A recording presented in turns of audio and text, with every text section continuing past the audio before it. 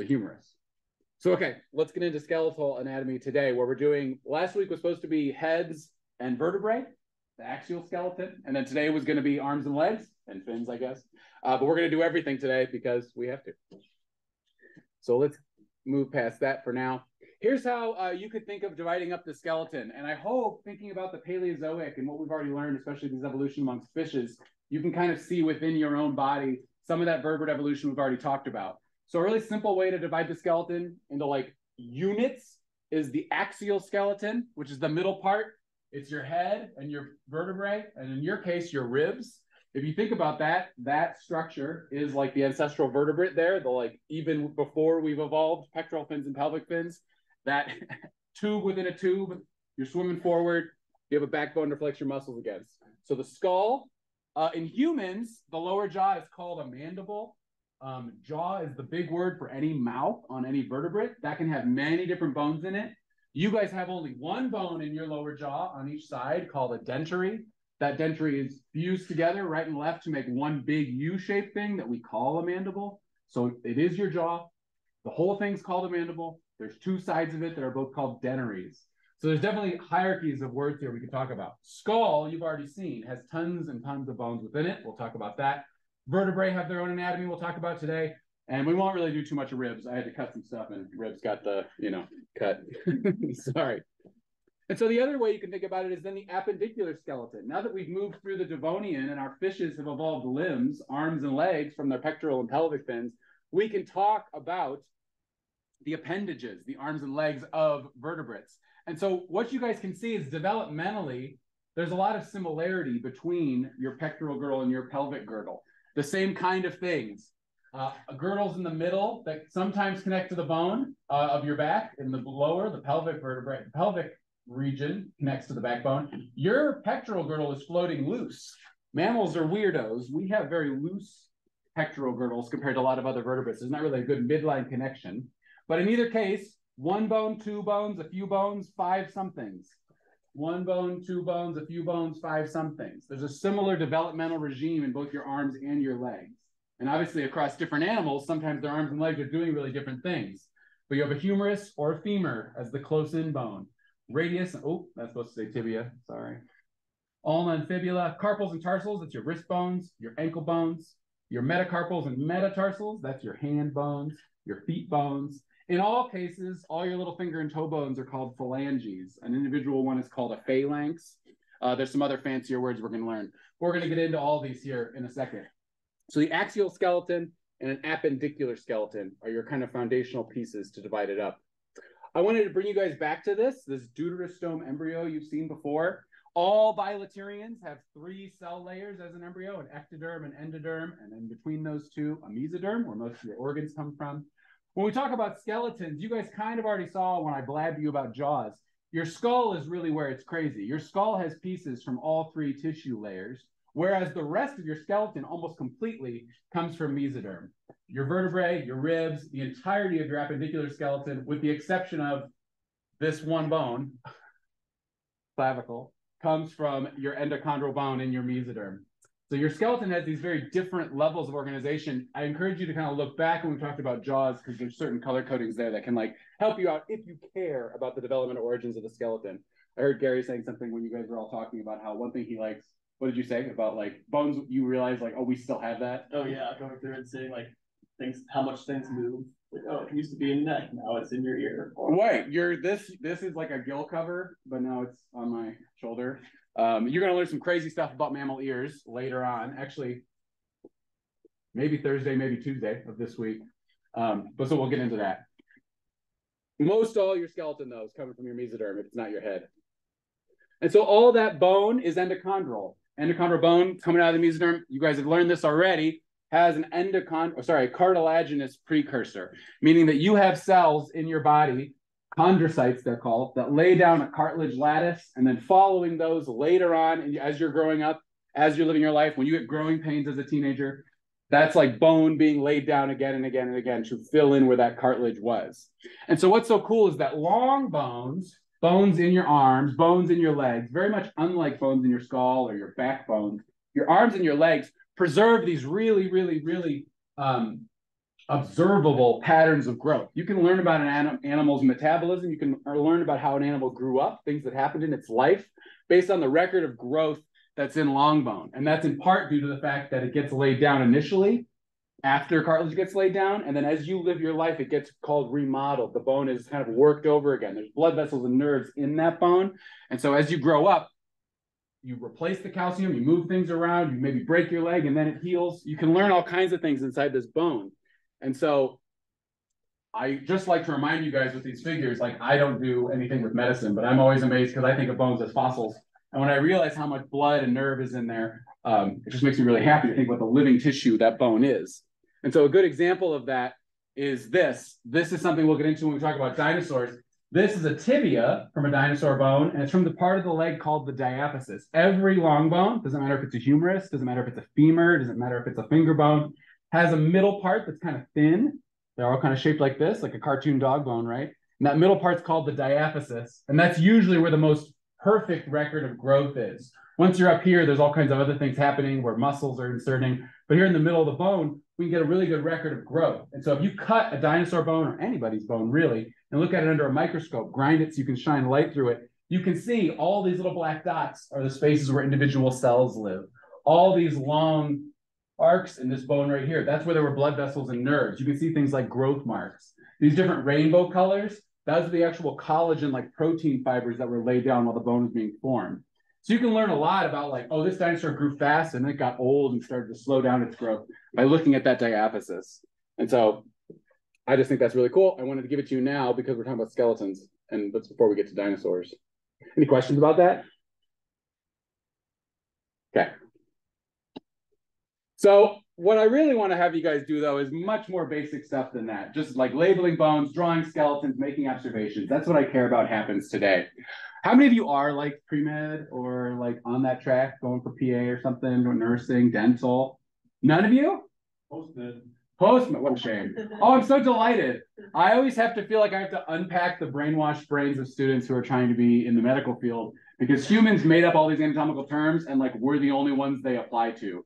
And that's so dumb because as you well know, our skeletons are connected to all the other skeletons out there. So when we talk about directions, the first thing we're going to do today is teach you guys some anatomical directions when you're talking about bones, when you're describing a skeleton. The words are never appropriate to humans. Most vertebrates, if you look at them from the side, look something like this. Their backbones are horizontal and their heads are in the front.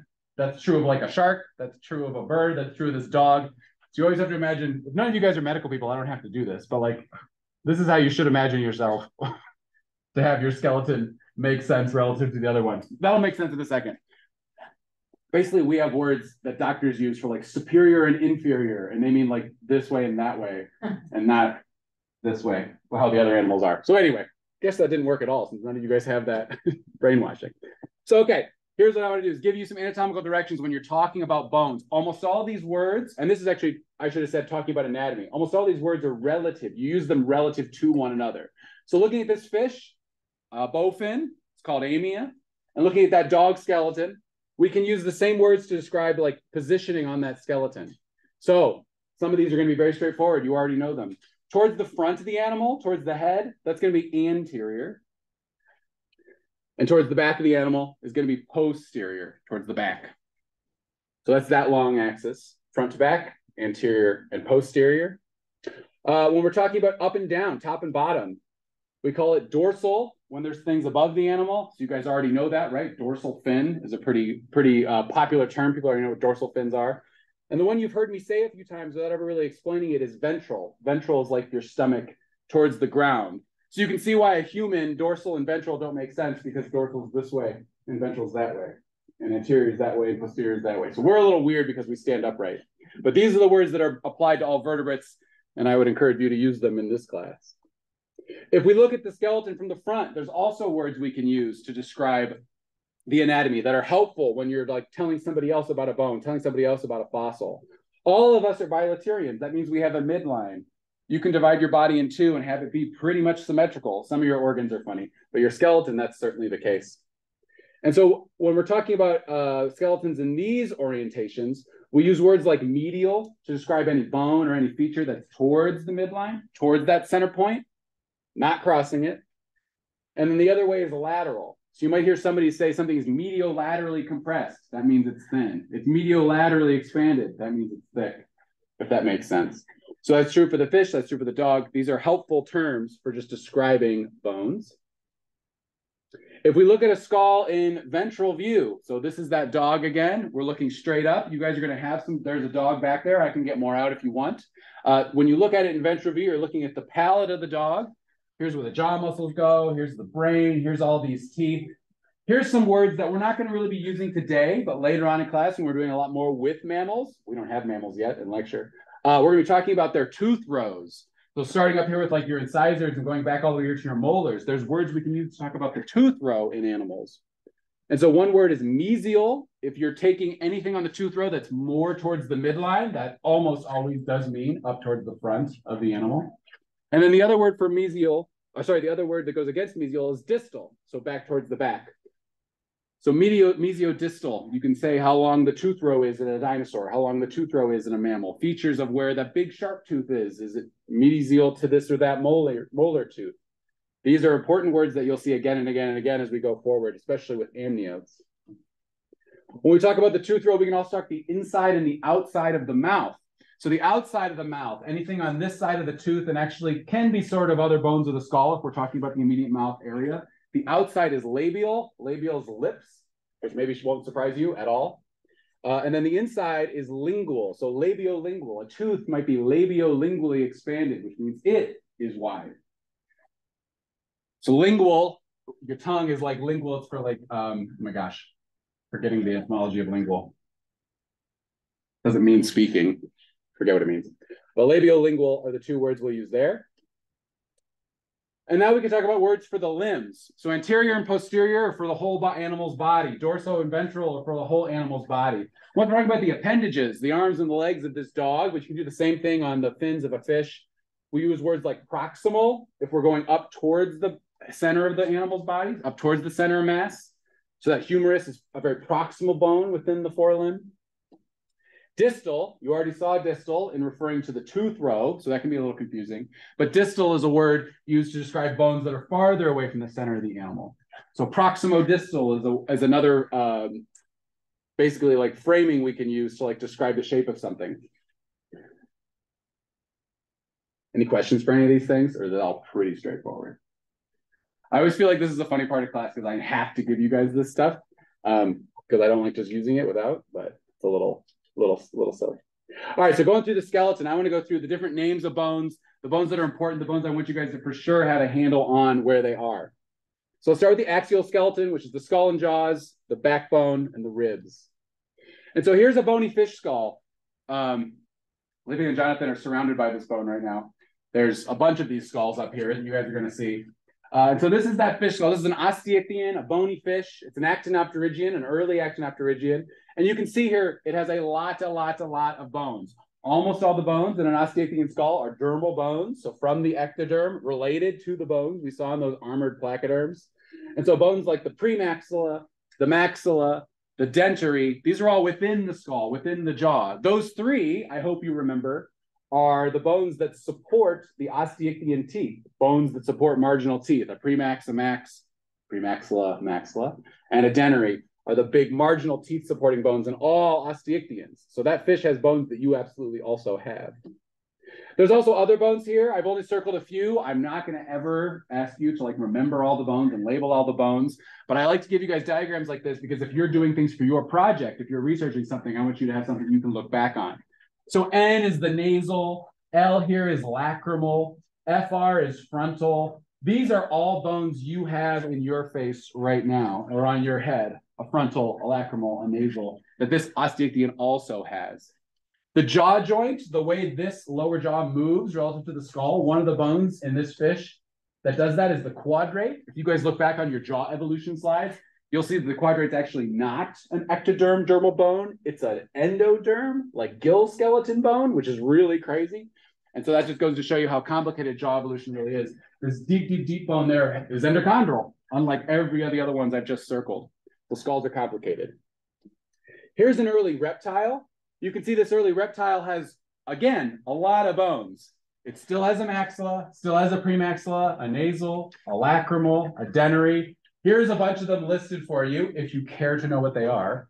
All I want you guys to take away from this slide is that as we get into animals like us on land, not fishes, but like amniotes running around, reptiles maybe, I hope you can see still a lot of bones, maybe more bones than you have in your skull, but definitely way less than a fish. So simplification of the skull is something that we do see with terrestrialization, and mammals kind of take it to an extreme. Our skulls have very few bones compared to most reptiles. Your lower jaw is one bone, the dentary. Your dentary goes from here all the way to your chin. In this animal, the dentary is just part of the jaw. There's a bunch of other bones here that you do not have in your lower jaw. Anyway, there's some labels for you. Here's us obviously that's not you, but this is a dog or a wolf, and they and this dog has basically all the exact same bones you have. But again, the mammal skeleton, just like all skeletons, is supremely adaptable. Almost every single bone this dog has, you have in your face too.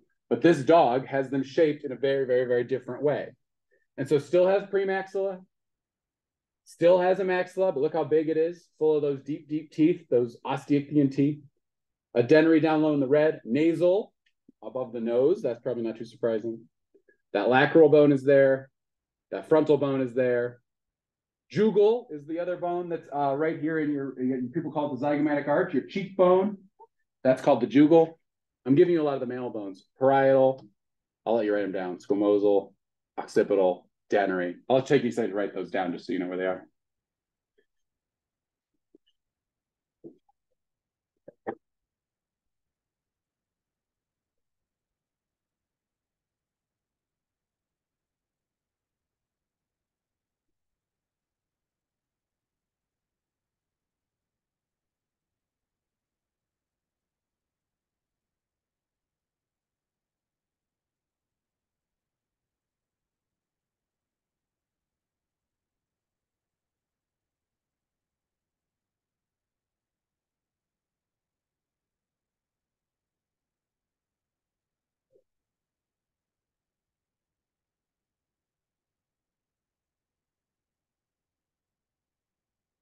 The other thing I hope you can see with this is like the mammal skull has so many fewer bones than that reptile skull has, and definitely way, way fewer bones than that fish skull has. There's still elements that are homologous, like maxilla, premaxilla, but nasal. But then there's like a big reduction of bones. And that happens in a couple ways through evolution. Sometimes our ancestors combine like ossification centers. What's three bones in a fish is one bone in you, or bones are lost altogether. There's other examples we can talk about where the bones become other parts of your anatomy, but we'll worry about that later definitely come back to this if you guys want. Okay, another thing that's important for you guys to have is when we're talking about uh, whole skeletons, we can talk about the vertebrae and the vertebral column. We can break that up into regions. And so I put the fish and the little early reptile and the dog all up on this slide. You guys have them in your notes so you can label the different regions of the vertebrae. You're going to hear these words a lot. We're going to start with the fish because that's like where we've been starting. and so you can divide a fish's vertebral column up into very simple categories. The caudal vertebrae are the tail vertebrae. In this fish, that's a very small segment of vertebrae, which kind of going up like this, that like heterocercal-ish tail, you'll remember, where the vertebrae go up into the tail. This fish doesn't quite have that, but we'll worry about the details later. The back of a fish's vertebral column, the caudal vertebrae, the tail vertebrae. And then for most fishes, what people actually say, and this is like the lowest common denominator kind of anatomy, but it does work is all the other vertebrae from the brain case of this fish, where the brain is right there, the spinal cord exits the brain, all the way back to those tail vertebrae called the precaudal vertebrae, vertebrae that are before the tail. Okay, that's in a fish. If you look at something like an early reptile, you still have caudal vertebrae, you still have tail vertebrae, of course, but there's a couple other things here. This is a tetrapod. Its pelvis, its pelvic girdle is now fused to the backbone there's a little rib called a sacral rib that connects the backbone to the hip in one specific place on a bone called the ilium. And so those vertebrae, there might only be one or two, you have more than that, are called sacral vertebrae. You guys have a sacrum in your body, which is the term for that big mass of fused vertebrae that you have all together. The sacrum is made up of sacral vertebrae. In front of that you could call the rest of this little animal's body pre-sacral. So you can see how there's caudal and pre-caudal in the fish. Caudal, now we have sacral vertebrae that look different because they're fusing with the ilium. And then in front of that is pre-sacral vertebrae. Now in this animal, we absolutely can break up pre-sacral vertebrae into dorsal vertebrae. So this is not only dorsal, like the direction, like up, but it's literally your back, the backbone in like the torso, you can think of it as, of this little animal. And then the neck vertebrae, the cervical vertebrae. So cervical and dorsal vertebrae together could be called presacral vertebrae. Some people are fancy and call them cervico-dorsal vertebrae when they're kind of like in this region.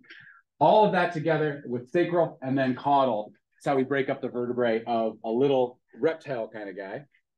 If we get to you, you probably have thought of words. Some of you I saw wrote down a couple of words on your sheets.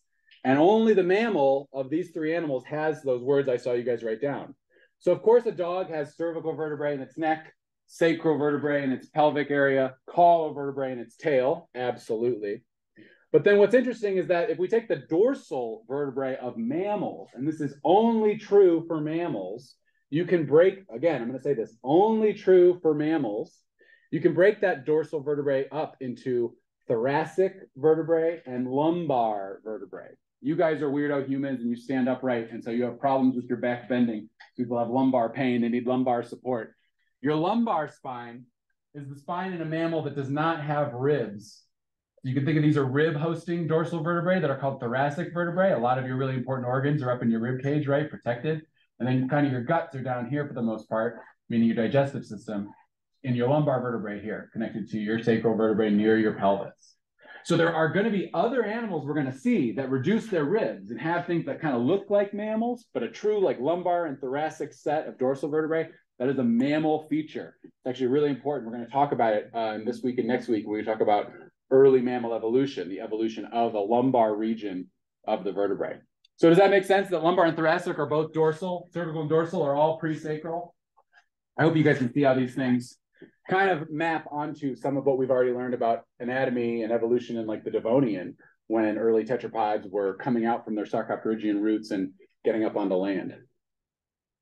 Questions about this? I know it's just basically like vocab. Okay. Some vertebral anatomy for you. I know this is quite a bit. So here's a dinosaur vertebra. You're looking at it in an anterior view. So that means you're looking at it right in the front, the front of the vertebrae. So this is not what you'd see if the animal was like laying there dead on the ground, right? This is if you took a vertebrae out and looked at it straight on. And then it's also in left lateral view. So looking at it from the side. And so there's only a few pieces of vertebral anatomy I want you guys to have. Being a vertebrate paleontology class, I think it's important. You can always divide a vertebrae into two main vertebra into two main components. One is the centrum, so that spool shape. It looks like a, you know a little hockey puck kind of shape. Uh, it can be very different shapes in different animals, but the centrum. And then you can basically like cut through that centrum, and above that is this big complicated structure, and that structure is called the neural arch. And so oftentimes what happens in animals, you'll see it in fossils. You guys probably actually see it on some of the animals you look at today.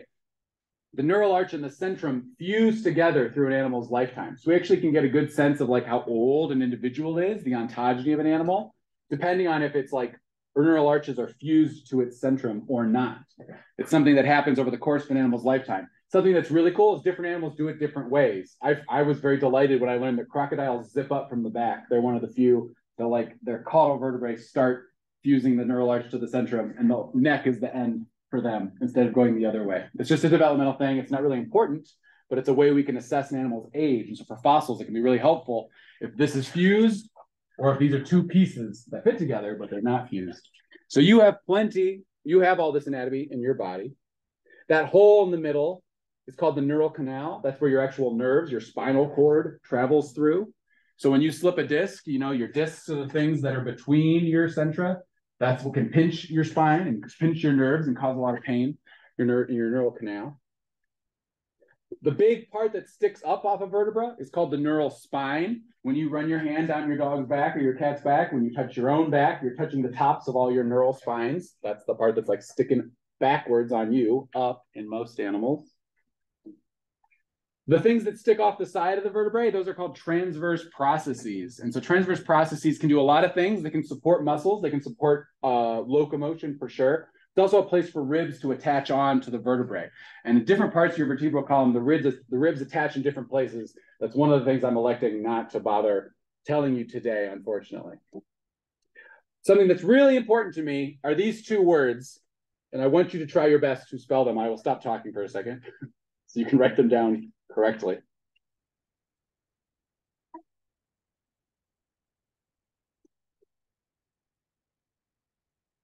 They're both pre and post, and then it's the same word after that.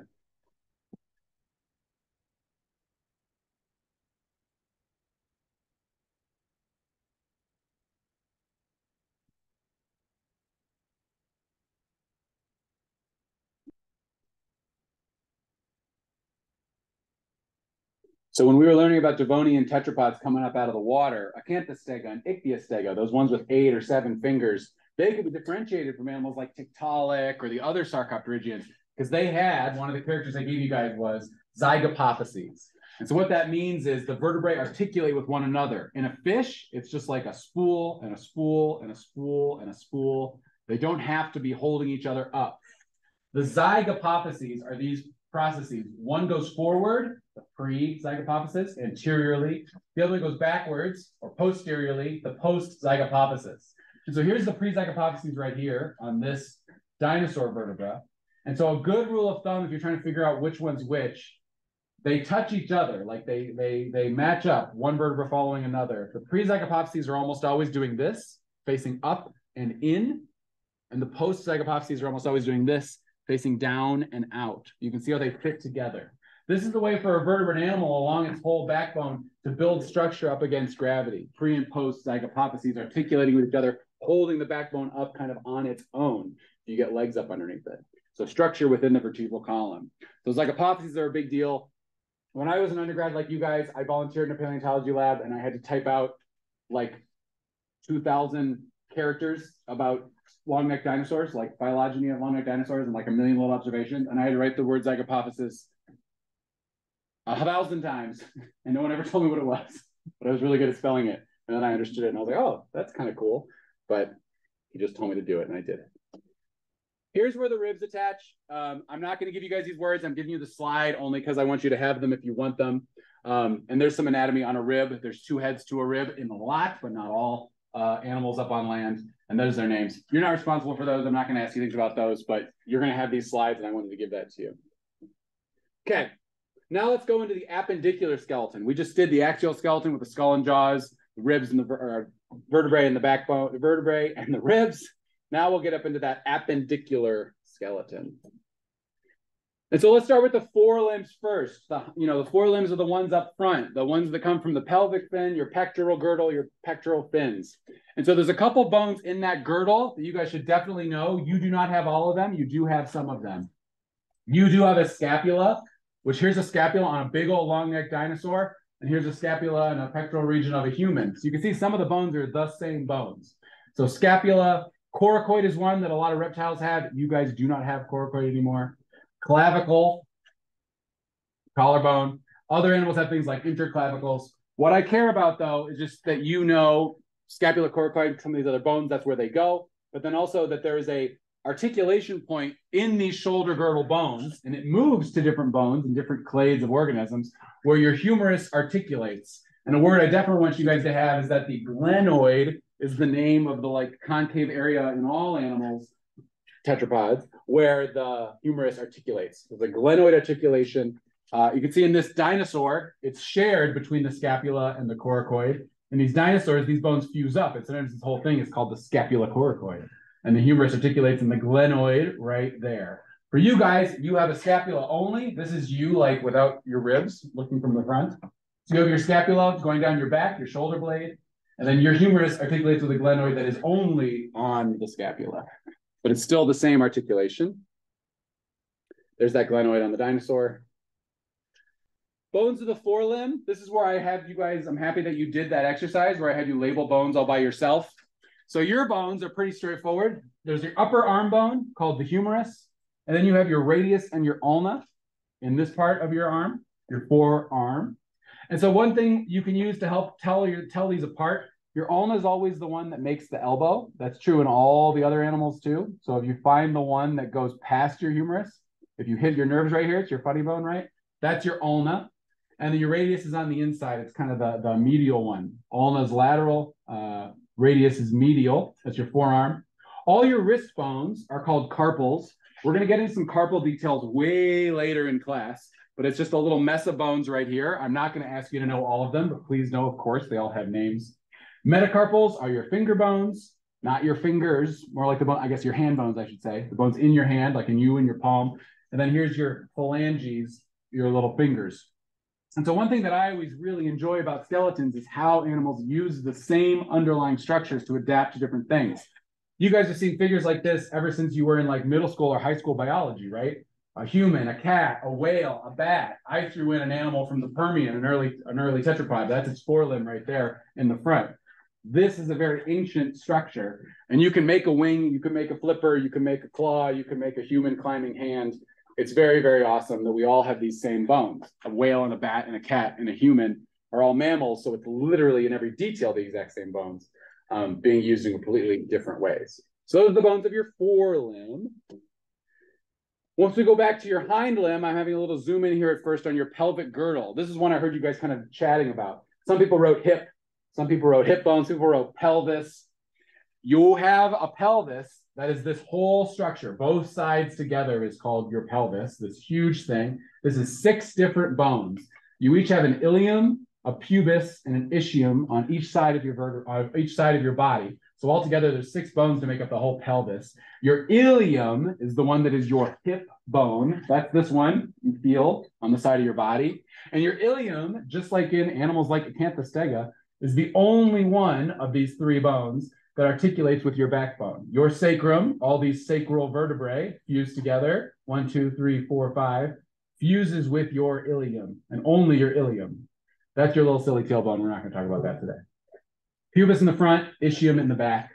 And what I like is look over there. There's a dinosaur, an ostrich dinosaur in this case. That dinosaur also only has six bones on both sides of its pelvis together. On each side, it has an ilium, an ischium, and a pubis. The exact same bones you have, homologous to the bones you have the dinosaur pelvis, which is very, very, very cool. The femur, big bone of your leg, your upper thigh, fits into your hips, fits, fits into your pelvis in a, a hole called the acetabulum.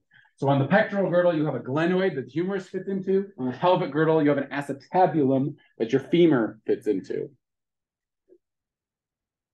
There's that acetabulum. Here's the hind limb, just like before. So a pelvic girdle up top and one bone at the top, a femur. Almost all of you wrote femur, so congratulations. Uh, tibia and fibula. The tibia is big and medial. The fibula is smaller and lateral, usually. Some animals lose their fibulae altogether, which is kind of interesting. Um, you have your tarsal bones, which is, are your ankle bones, carpals in your hands, tarsals in your ankle, uh, sorry, carpals in your wrists, tarsals in your ankles. Then you have your foot bones, which are your metatarsals. And then just like in your hand, your toes are called phalanges. Single one by itself is called a phalanx.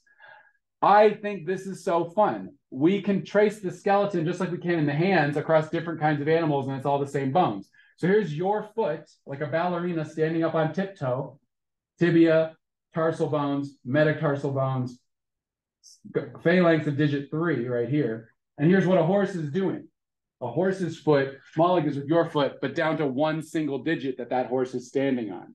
But it's still this very deep homology, same bones making extremely different shapes, in this case in the hind limb.